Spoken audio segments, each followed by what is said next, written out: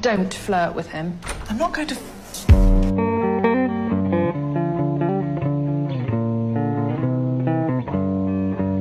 Ah, King hell.